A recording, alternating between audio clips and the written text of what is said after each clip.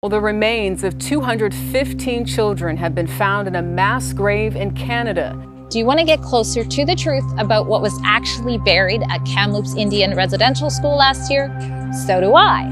That's why the Rebels are doing a live screening in Calgary at Canyon Meadows Cinemas, and we want you to join us. We'll be there to watch this documentary with you, meet and greet you, and answer any questions that you have. I can't wait to see you.